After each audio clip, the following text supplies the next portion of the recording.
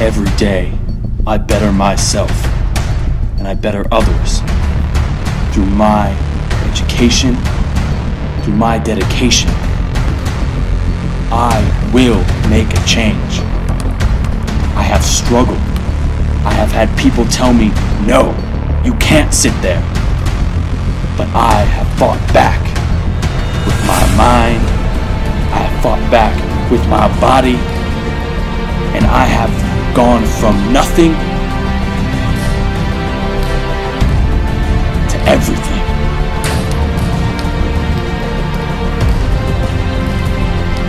This is not just about me. This is about those around me. This is about me helping others so that they can achieve what I have. I'm dedicated to making sure that everything is done correctly and pushing myself to do things I thought I could never do. I refuse to lose. I refuse to do anything half-heartedly. I will push myself not just with my muscles. I will push myself with my mind. I am dedicated to pushing what I know about the human body. I am on the cutting edge of research. I am learning things that those around me have no idea even exist. I have discovered a new muscle in the bicep. Nobody knows except for me. I am not doing this for me. I'm already a boss.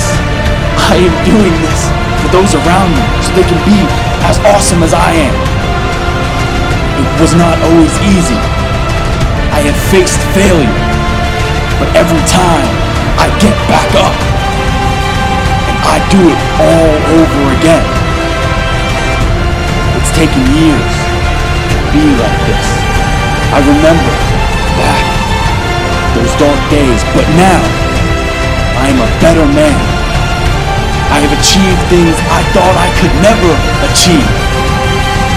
I know you can achieve things you thought you could never achieve. I'm here to better my community, the young children around me. I will never give up on them, because at the end of the day, it ain't me, it's all of us.